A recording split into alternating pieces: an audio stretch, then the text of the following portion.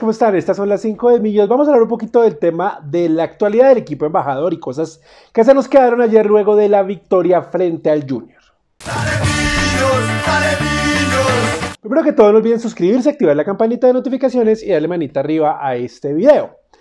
Ah, Millonarios ganó eh, frente a Junior y creo que todos salimos contentos del estadio, todos salimos felices por la victoria en el último minuto.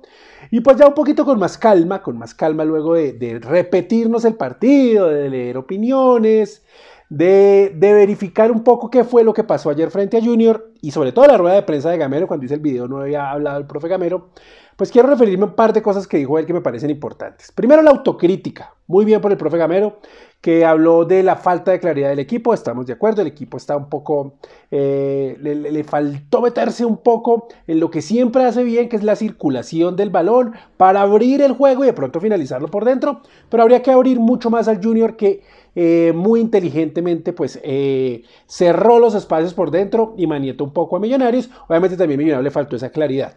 Y lo otro es el tema del bloque bajo de los equipos rivales. A Millonarios el 99.9% de los equipos, por decir todos, de pronto en algún momento le saldrán a buscar, pero creo que todos le van a hacer lo mismo y es colgarse de los palos, sobre todo acá en Bogotá. Ah, entonces el profe Gamero habló que hay que mejorar cómo destrabar ese circuito de juego. Y pasa mucho por la toma de decisiones, porque sin duda el cambio de Celis, por ejemplo, era para decirles, mire, vamos a abrir la banda, vamos a abrir el juego con Celis. Y Celis terminaba tirándose por dentro, Celis terminaba cerrando otra vez el espacio.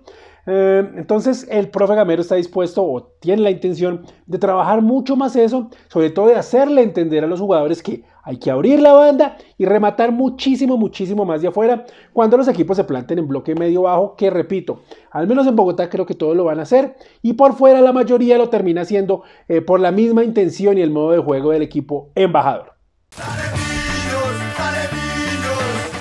Y hago una culpa porque ayer no hablé de las embajadoras no hablé de nuestras jugadoras, de nuestro equipo femenino, que viene subiendo, que viene caminando mucho mejor, que ya está quinto en la tabla de posiciones, le ganó a un rival, digamos, de esos que se llaman directos, porque el Orso Marzo estaba encima en la tabla, ya ascendimos al quinto puesto. Este sábado vamos a jugar eh, a las 8 de la noche frente al, hasta las 7 de la noche, perdón, frente al Deportivo Pereira, que está en el cuarto lugar, nosotros somos quintos, entonces va a ser otro, partido de esos importantes, ojalá Millonarios Femeninos se logre traer un buen resultado, las dirigidas por el profe Anzola cada vez pintan mejor y tienen algunos baches, algunos altibajos eh, propios de un equipo nuevo que hasta ahora se está armando, que lleva apenas nueve partidos de profesional, porque amistoso, repito, solo tuvo uno en un equipo aficionado, eh, y se ve cada vez mejor, algunos jugadores están elevando nivel, por ejemplo, Sharon Ramírez, la capitana, empezó mal y cada vez juega mejor, Laura Bolaños, eh, Lady Calvo lograron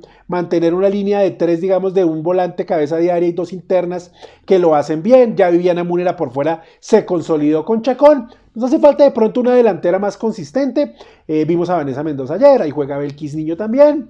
Y el profe Gamero, el profe Gamero, el profe, el profe Sola, pues está tratando de encontrar no solo el equipo, sino encontrar jugadoras que, que puedan entrar bien a rotar al, a ese equipo femenino porque estamos jugando casi miércoles, domingo y miércoles, domingo. El próximo partido es el miércoles 6 de abril, es decir, el siguiente miércoles a las 4 de la tarde frente a Huila. Entonces, chapó por las embajadoras que ganaron con su gente, la gente feliz, contenta de verlas ganar, celebraron y siempre va a ser bonito pues que Millonarios, donde esté en cualquier competición equipo, gane y le vaya bien. 3. Desde hoy, hoy es 31 de marzo, estoy grabando este video en la tarde, voy a hacer una campaña, todos los videos hablar de lo mismo hasta el 20. Y se lo voy a decir al profe Gamero en una rueda de prensa. Queremos que ponga los titulares en Copa Colombia. El 20 de abril se juega el partido de octavos de final. Entre ayer y hoy ya se están jugando eh, la fase 3 de los partidos de ida. En ocho días se van a jugar los partidos de vuelta. Está Santa Fe, Pereira, Envigado, está Tigres, está eh, la gente de Fortaleza. Entonces eh, ya se vienen los octavos de final, que va a ser la única, digamos, fase de Copa Colombia que se va a jugar este semestre, los octavos de final, en 20 días. Y un pajarito me contó que el profe ya avisó a los juveniles. Ojo, Viene Copa Colombia, viene una oportunidad. No sé si es en Copa Colombia, no sé si lo va a hacer eh, rotando la liga y los titulares vayan a Copa. Pero yo le pido al profe Gamero que tiene que poner el mejor equipo disponible en Copa. No podemos volver a mandar la copa a un torneo menor. Ah, no, es para que jueguen los suplentes. No, no me importa. Juguemos contra Tigre, Fortaleza, Santa Fe nos puede tocar clásico. Contra el que sea que toque, espero que Millonarios ponga el mejor equipo disponible porque los últimos años, creo que desde, desde por ahí ruso, en el 2018, pues Millonarios es y eso, Millonarios ha puesto una nómina emergente para afrontar la Copa y no, no estoy de acuerdo sin torneo internacional, sin otro compromiso, Millonarios tiene que salir a disputar las dos. Y solo teniendo una fase, la de octavos de final, en este semestre, espero que el profe Gamero ponga el mejor equipo disponible para disputar la Copa Colombia y ojalá traernos el título. Y al menos en esta fase de octavos de final, pues pasar a la siguiente ronda para el siguiente semestre. Ayer, por las casualidades de la vida, nuestro compañero Luis Eduardo Martínez y yo tuvimos la oportunidad de ver a, un grupo de empresarios chinos em, en el Campín, eh, visitando las instalaciones y visitando a la gente de Millonarios. El señor Carlos García, gerente de mercadeo de Millonarios, eh, los estaba guiando. Yo tuve la oportunidad de ver como cuando ingresaban ya en el segundo piso a, la zona de palcos, en el tercer piso, pues ahí estaban hablando con ellos, mostrándole. Había una, una PR, una, una gente de relaciones públicas hablando con él, hablándoles en inglés, imagino yo, y muchos chinos viendo, mirando, y ellos con sus guardaespaldas y todo el tema. La gente de Vivo, que es una marca de celulares, una marca grandísima o grandísima de celulares en el mundo, que dentro de lo que leí tiene una estrategia y es que eh, van a llegar a Latinoamérica o están llegando a Latinoamérica porque los celulares ya se venden en Colombia a través de Colombia, que es muy raro porque generalmente llegan a México o van a Argentina o van a Brasil, pero Vivo escogió a Colombia como su base de la TAM. Entonces, eh, congruente sería que quieran invertir en millonarios. Preguntamos en millonarios directamente, oiga, nuevo patrocinador y nos dijeron no, no, no, pero pues ya muchas veces nos han dicho no, no, no y al final termina así. Y ya por ahí averiguando un poquito más con otras fuentes, pues dicen que, que, va a ser patrocinador de Millonarios, pero no nos confirmaron si va a ser patrocinador de camiseta, en la espalda, un pedacito, no sabemos qué va a ser, pero todo parece indicar que Vivo va a entrar, digamos, al grupo de patrocinadores de Millonarios. gente decía, no, pero ¿cómo vamos a pasar de Pepsi a Vivo? Como si Vivo, o sea, los chinos fueran una, una, una marca X o no tuvieran un respaldo económico gigante, cuando todo lo contrario, un respaldo económico muy importante. Esperemos a ver si es el patrocinador de la camiseta o no en el futuro.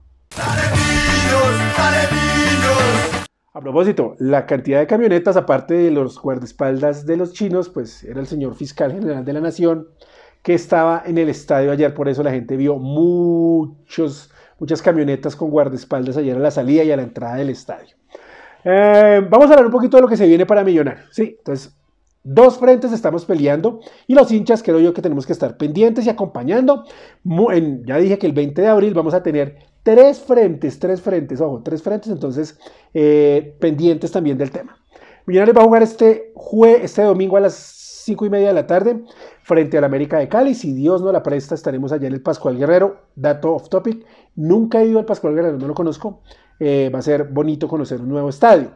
Um, luego el viernes 6, el viernes 8 de abril, perdón, a las 8 de la noche frente a Equidad. Son los dos partidos de programado. Y nuestras embajadoras van a jugar este sábado 2 de abril a las 7 de la noche en Pereira frente al Pereira y luego el miércoles 6 de abril a las 4 de la tarde en el Campín frente al Atlético Huila. No sabemos si van a abrir puertas al público, creería que no, pero pues eh, esperemos a ver qué termina decidiendo Millonarios. Entonces esos cuatro partidos ya están programados para que estemos pendientes esta semana de nuestras embajadoras, de nuestros jugadores, líderes y quintos, entonces en la parte de habla clasificados, en la parte alta de la tabla clasificados pendientes de estar entre los ocho en los dos torneos, ojalá que se nos dé para la alegría, repito, de todos los hinchas. Eh, estas fueron las cinco de millas, nos vemos en un nuevo video mañana, chao.